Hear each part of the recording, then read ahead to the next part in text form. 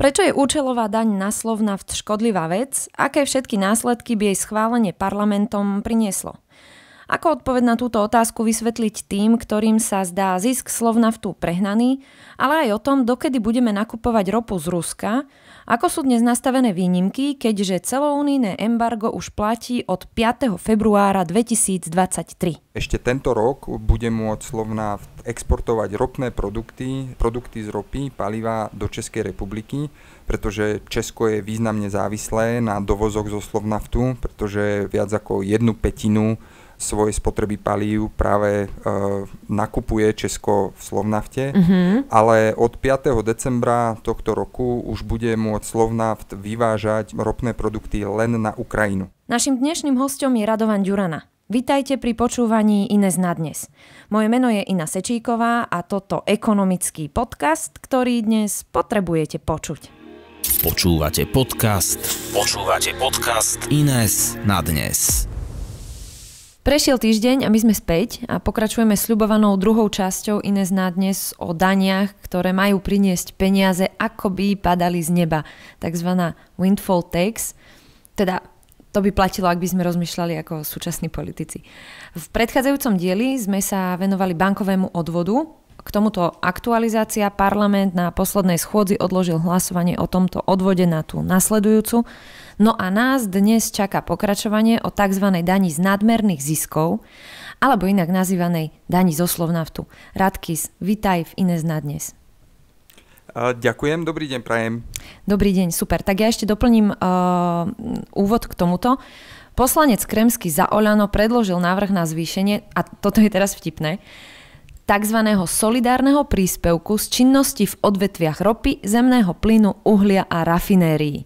Požadujú zvýšiť sadzbu z 55%, teda dane, 55% na 70%, hoci nariadenie Rady Európskej únie určuje minimálnu sadzbu len 33%.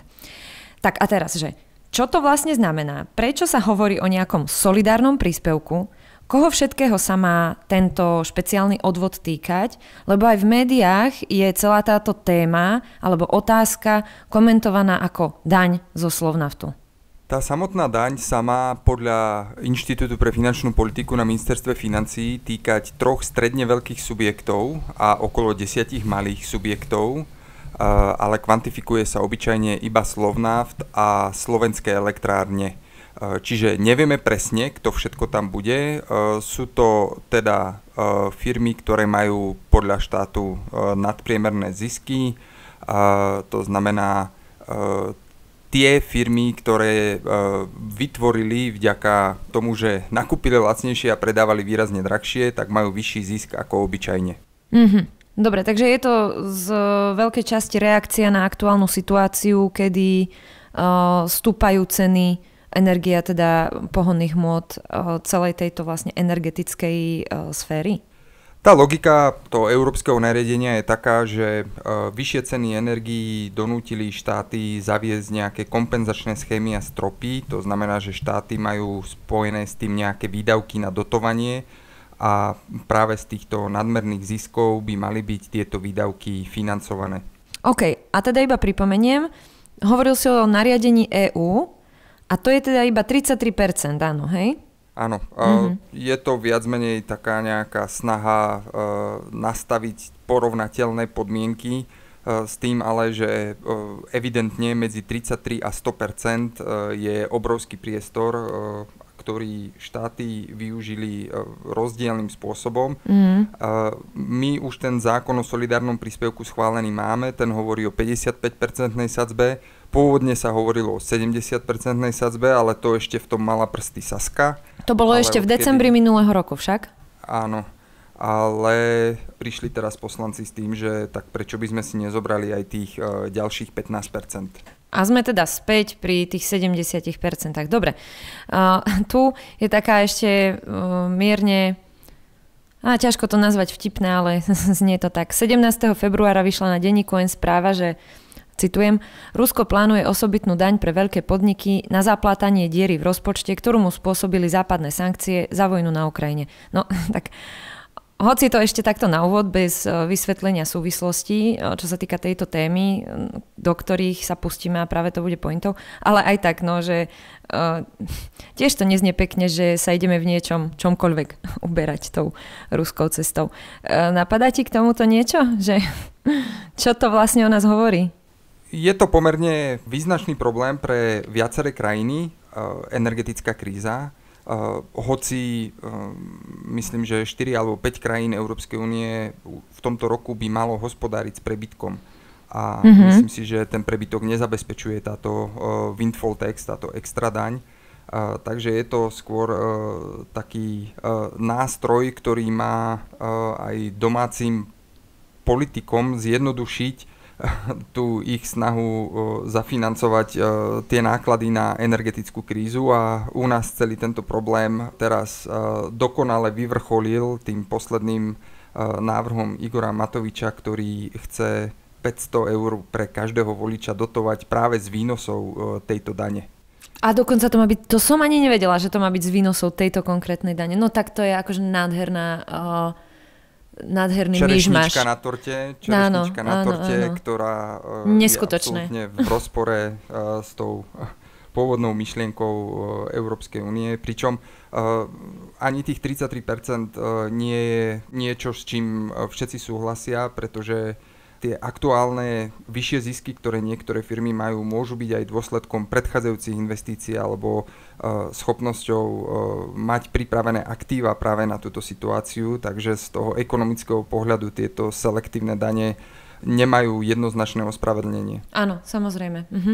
Dobre, kľúčová bude nasledujúca otázka, to je vlastne takouto hlavnou pointou dnešného rozhovoru prakticky identická ako v našom predchádzajúcom dieli, keď sme sa rozprávali o bankovom odvode. Ako vysvetliť, prečo to nie je správne a ani to neprinesie dobré výsledky, napríklad aj ľuďom, ktorí už sú vlastne v tej, v tej vnímavejšej časti spoločnosti, ktorí to sledujú, vedia o tom a majú akože prehľad, že toto sa deje, že takýto návrh je na stole a napriek tomu si povedia, že veď však áno, veď aj na nás prehnane zarábajú tieto firmy, u nás trebárs ten Slovnaft, tak nech aj platia.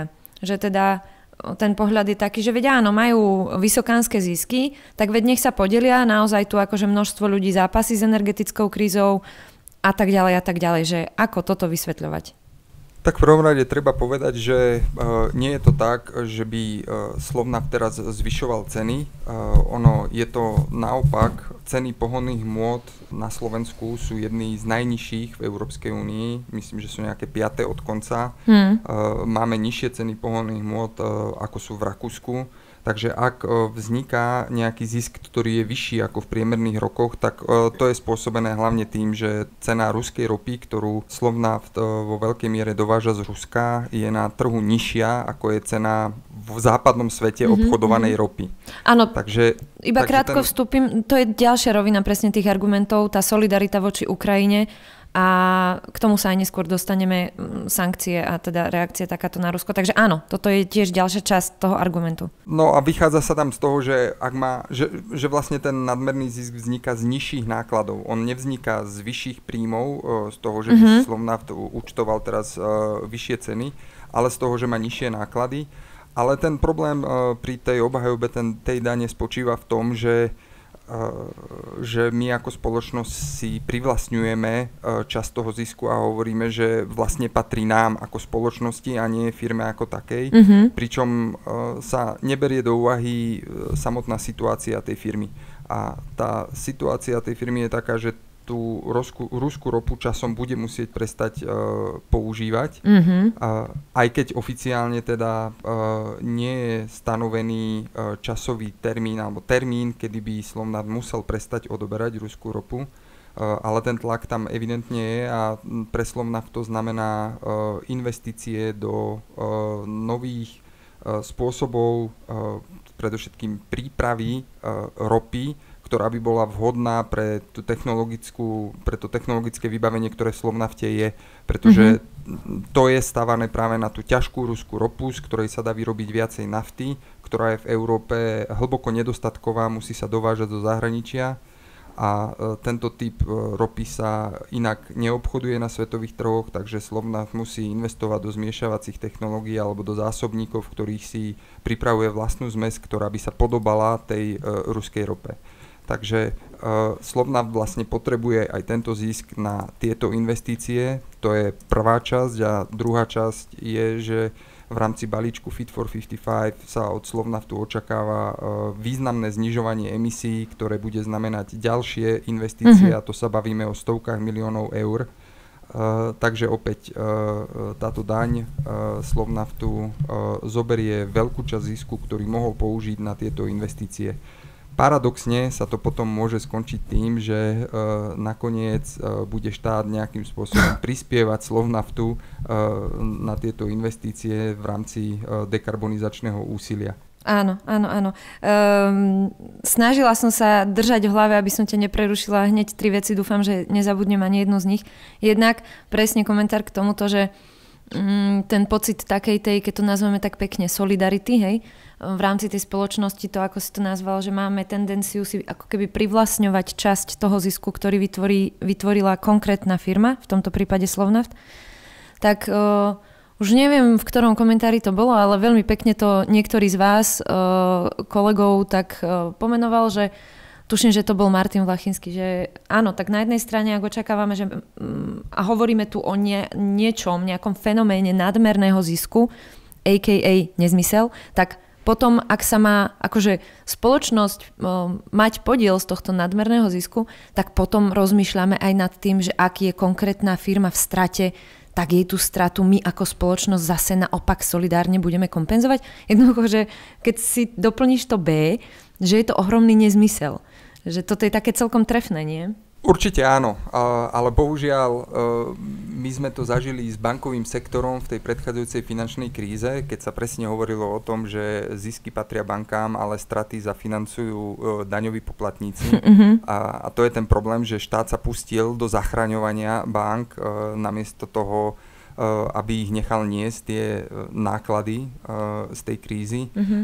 Takže áno, pokiaľ existuje nadmerný zisk, tak potom, uh, je, potom môžeme očakávať od uh, vlastníkov kapitálu, že budú očakávať kompenzáciu strát a to je nezdravé prostredie, uh, ktoré vedie k takej forme štátneho nacionalizmu alebo nacional, nacionalistického hospodárstva, kde štát a verejné zdroje rozhodujú o tom, aký je zisk a aká je strata podnikov a to je presne to, čo sme uh, chceli opustiť uh, z bývalej centrálne riadenej ekonomiky. Uh-huh, uh-huh, no jasné. Plus to akože absolútne zruší nejakú motiváciu toho konkrétneho uh, podniku, podnikateľa um, fungovať čo najefektívnejšie. Ak ja jednoducho viem, že ak bude zisk, no tak sa o ňo musím deliť. Ak bude strata, tak mi ju budú kompenzovať. Tak akože motivácia fuč, nie? Určite áno. A celé toto Eh, zdaňovanie nadmerných ziskov eh, vedie k eh, odlivu kapitálu do zahraničia, respektíve do krajín, kde sú takéto kroky menej časté alebo menej výrazné. Vieš si predstaviť, to teraz tak preskočím a potom sa vrátim k tým ďalším dvom poznámkam, otázkam. Vieš si predstaviť, že ak by prešla táto daň 70-percentná, že Slovnaft bude zvažovať odchod zo Slovenska?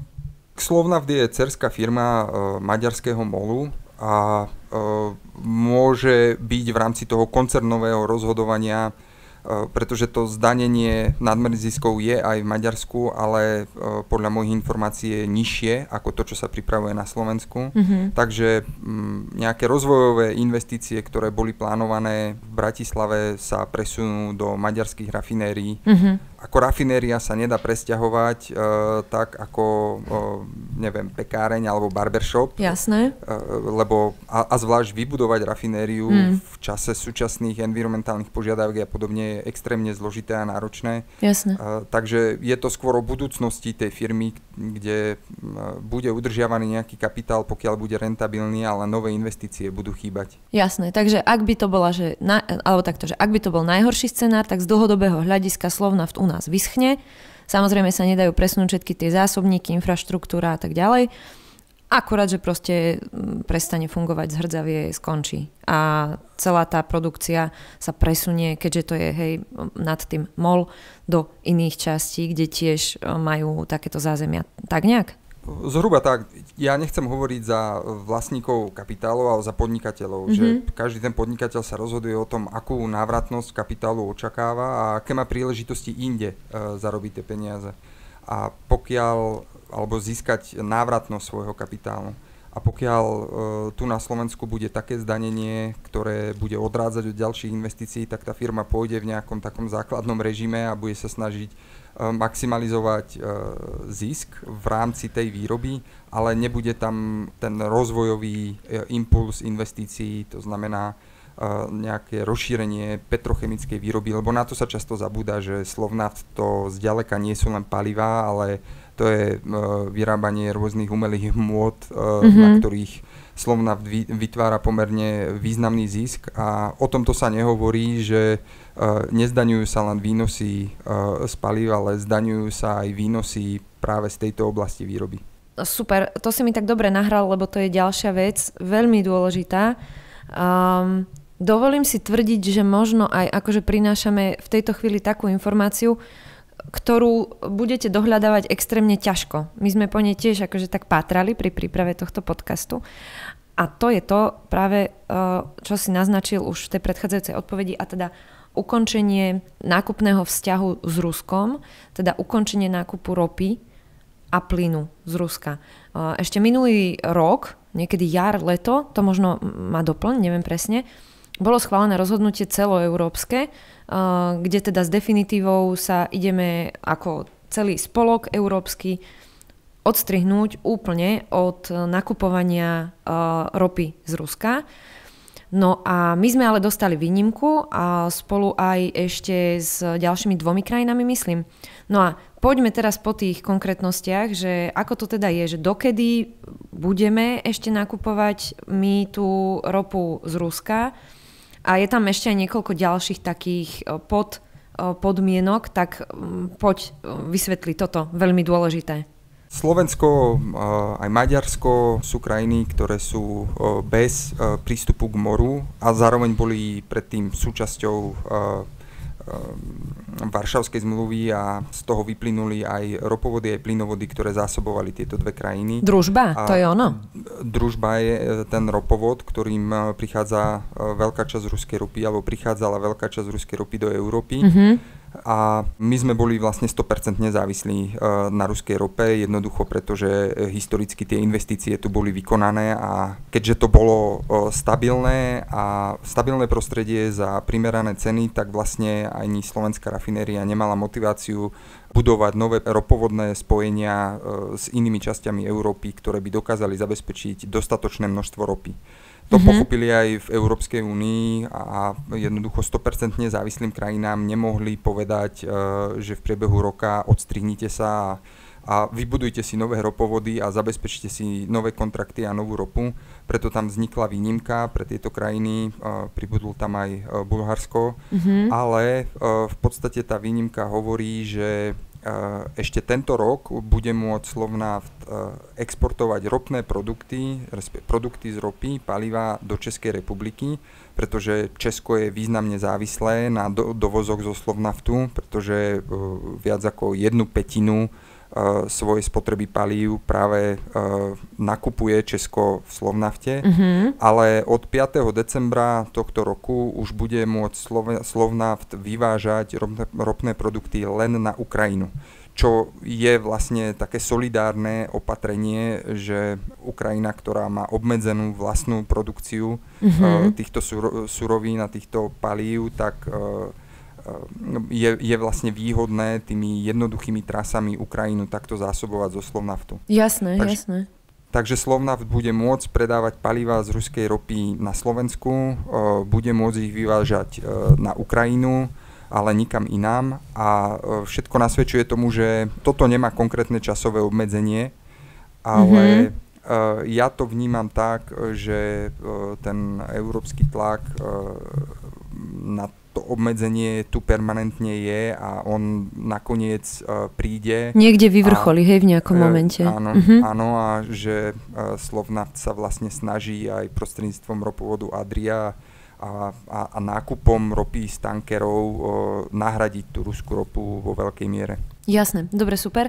Teraz ešte to celoeurópske, tak od uh, 5. februára myslím, platí ten celoeurópsky definitívny koniec, úplné odstrihnutie sa od nákupov teda z Ruska. Hej? Keď o, opomenieme túto našu výnimku týchto dvoch, troch krajín, ktoré si práve opísal. To je správne?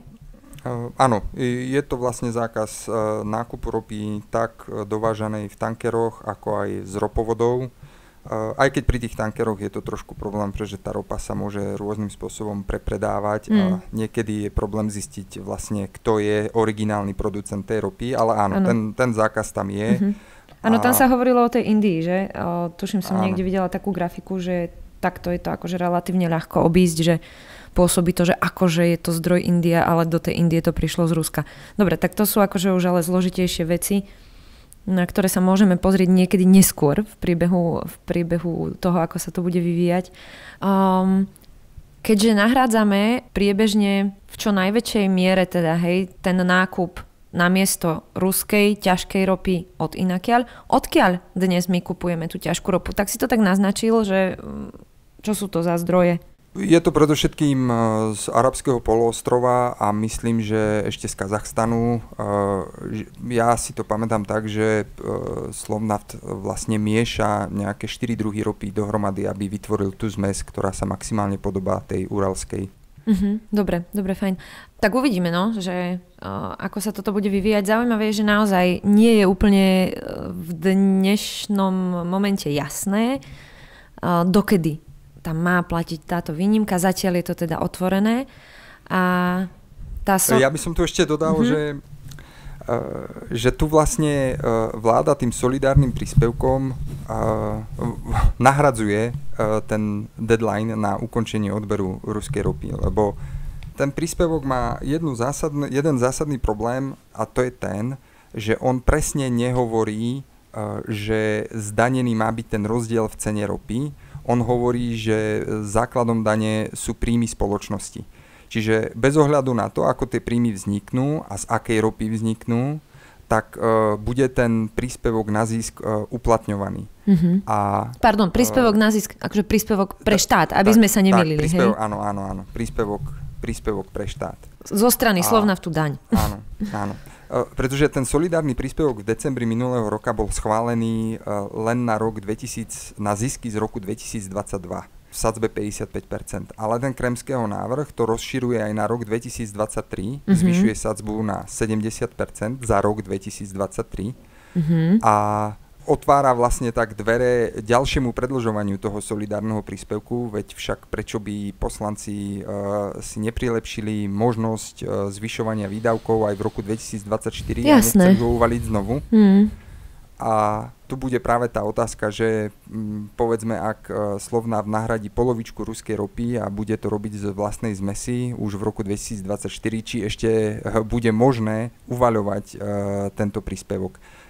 Takže jeden scenár je taký, že vlastne ten solidárny príspevok urýchlí uh, snahu Slovnaftu odísť od uh, ruskej ropy a prejsť na tú novú zmes. No počkaj, ale to by znamenalo, že tým hlavným dôvodom pre tento tzv. solidárny príspevok, teda daň, uh, že tým hlavným motivom toho zavedenia je tá problematika Ruska ako agresora a toho, kto rozputal vojnu na Ukrajine. Ale to ten primárny dôvod nebol, nie?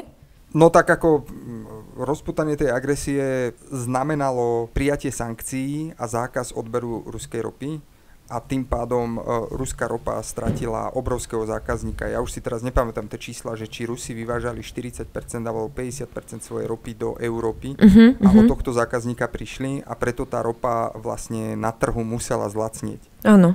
A, a toto znížilo náklady niektorým rafinériám v Európe a, a tak vznikol vlastne ten, tá idea toho nadmerného zisku.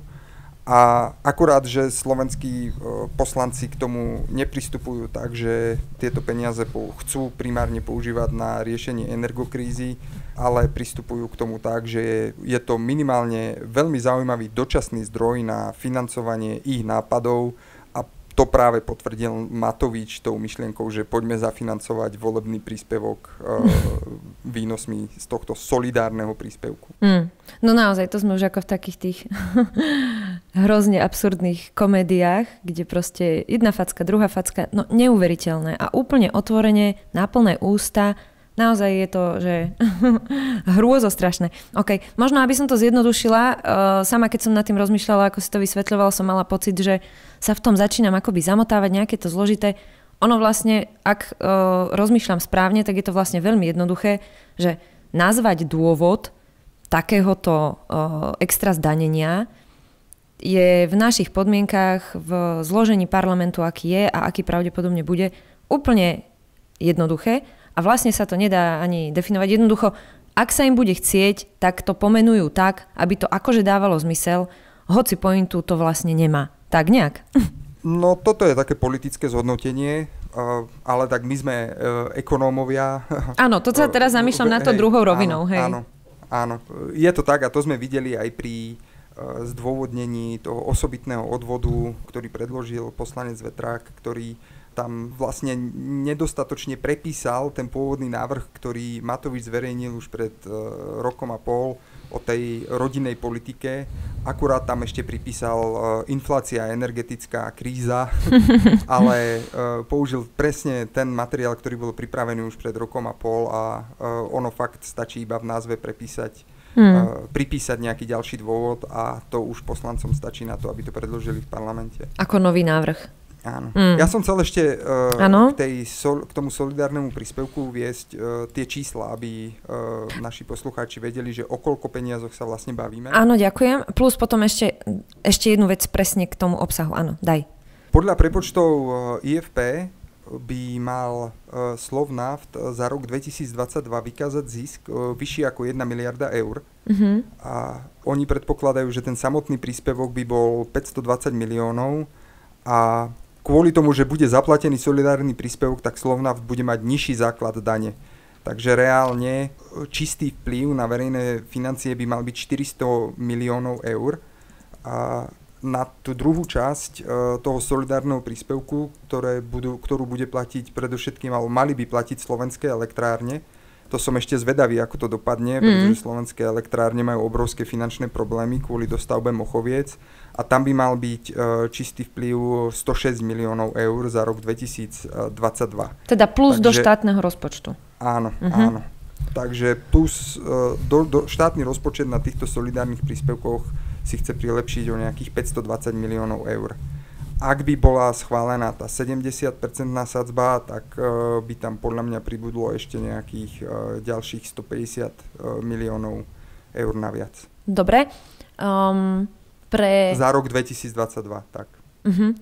Ešte pre také úplne na prvú prirovnanie alebo predstavu, takýto objem peňazí sa napríklad použije na čo všetko? Že čo všetko stojí takýto veľký balík, aby sme si vedeli predstaviť, že čo za sumu to je v nejakom reálnom použití, v nejakom, ja neviem, že školstvo, alebo vieš, taký nejaký príklad.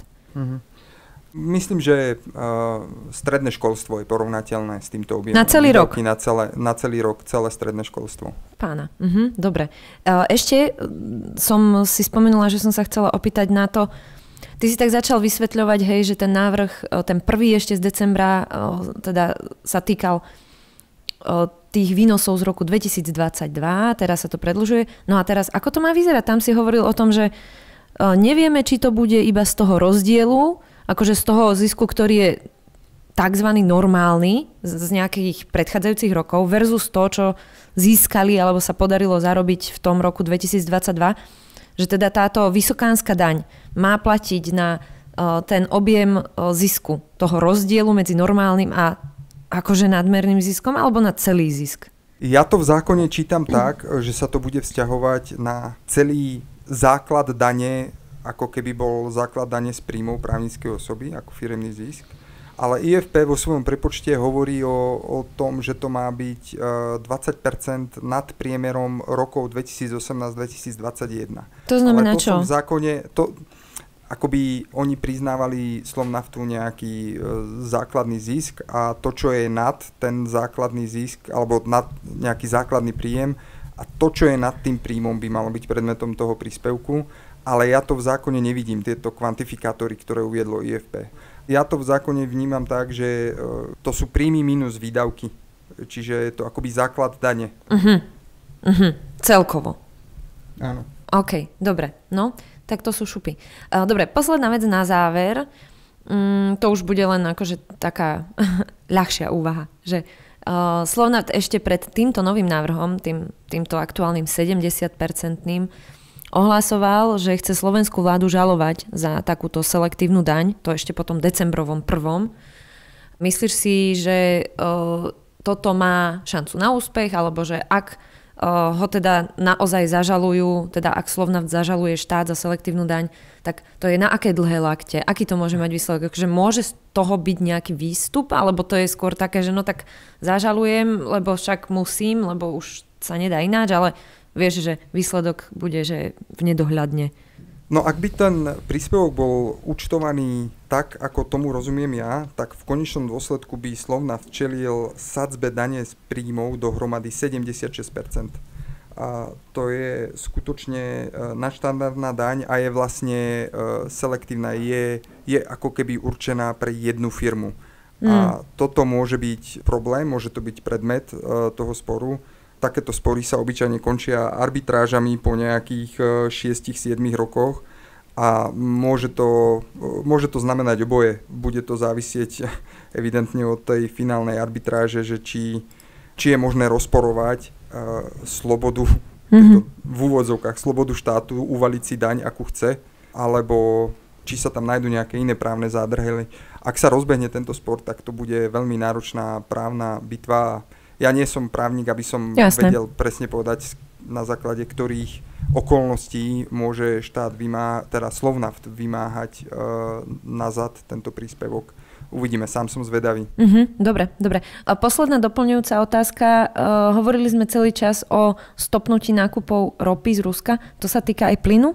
Plyn ešte na Slovensko nejaký chodí, ale tak ten výrazne klesol. Ten plyn predovšetkým stoplo samotné Rusko, ktoré tými vetvami ako je Jamal už prestalo dodávať Nord Stream a Jamal sú proste odstavené mm. cez slovenský plynovod Bratstvo. Ešte minulý rok e, niečo tieklo, ale tečie toho menej ako tretina tých pôvodných množstiev. Mm-hmm. A to zase otvára druhý problém, že ako vlastne EU Stream e, bude schopný e, generovať zisk, ktorý vždycky slušne plnil štátnu pokladnicu a teraz bol dokonca aj ten návrh na zdanenie, na, na špeciálnu daň z nehnuteľnosti pre EU Stream, ktorý mali platiť za plochu pokrytú alebo popod plynovodmi, ale mm-hmm. prezidentka, prezidentka to stopla mm-hmm, a mhm. zdá sa, že táto daň, ktorá by EU Stream mohla priviesť do straty, nakoniec nebude existovať, čo bude len dobre. Uh-huh, uh-huh. To bol tiež taký ten jeden z tých výkrikov koncom roka, že? Táto ďalšia vec. Áno, uh-huh, áno. Uh-huh. Bolo to taký ten pokus, že ešte tu by sme si mohli niečo zobrať. jasné, jasné. No, uh, ak v niečom majú talent naši politici, tak určite v tejto sfére vymyslieť si, že kde by sa tak ešte dalo. To im treba uznať. Dobre, tak e, možno zase príde priestor aj trebárs na túto plynovú tému alebo nejakú nadvezujúcu. Na teraz to bolo podľa mňa veľmi e, vyčerpávajúce. No a budem sa tešiť na budúce. Ja tiež. Benzín s vami.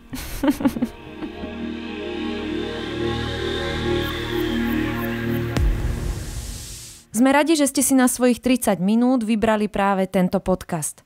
Vytvárať nielen podcasty, ale najmä analýzy, komentáre a návrhy potrebných legislatívnych zmien dokážeme len vďaka vašej podpore. Budeme vám preto veľmi vďační, ak zvážite možnosť podporiť Ines. Návod, ako to urobiť, nájdete na našom webe ines.sk v časti Podporte nás alebo 2%. Ďakujeme. Každú vašu podporu si veľmi vážime. Počúvali ste podcast Ines na dnes. Všetky ďalšie diely nájdete v podcastových aplikáciách a na YouTube kanáli Ines.